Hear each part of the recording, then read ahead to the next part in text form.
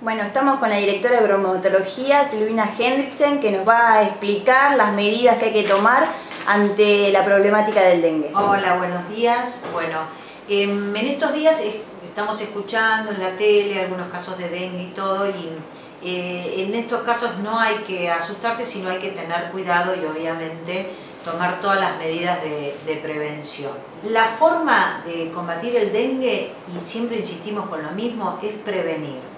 El dengue es una enfermedad viral que es producida eh, casualmente por un virus que se transmite a través de un mosquito, que no importa el nombre, es el Aedes aegypti, pero este, eh, no, tiene ningún interés que lo retengan al nombre, y em, lamentablemente es el mosquito quien transmite ese virus a través de la picadura. Por eso, y en ese caso, nosotros insistimos mucho con el, la prevención Em, es una enfermedad donde hay que tomar determinados recaudos y a veces la gente viene y nos pide fumiguen, fumiguen.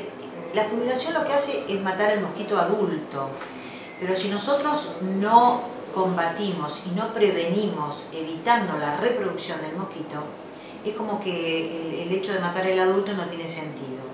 Por eso se insiste tanto con las colecciones de agua. ¿Qué es una colección de agua? Es eh, lamentablemente aquellos recipientes donde se acumula el agua, se estanca, ahí el mosquito eh, se reproduce y es como nace obviamente y después llega al mosquito adulto que es el que nos pica a nosotros.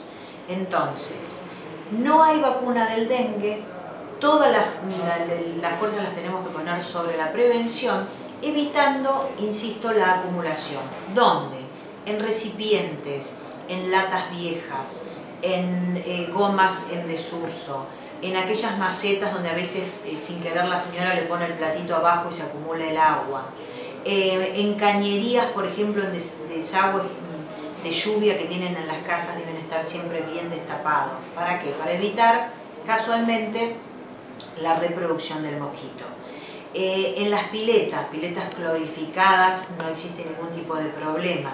En las piletas donde hay abandonadas. Ahora pues estamos en temporada, generalmente todas están llenas y bien clorificadas, no existe el peligro, pero sí, una vez que pasa la temporada, evitar la, acumulación de esas aguas verdes y todo para que no se reproduzca el mosquito. A veces eh, la municipalidad hace unas campañas de lo que se llama eh, evitar la, recolección, mejor dicho, que se junten los cacharros ayudar a la, eh, a la municipalidad y a todos los empleados a que no se junten los cacharros donde se pueda acumular agua.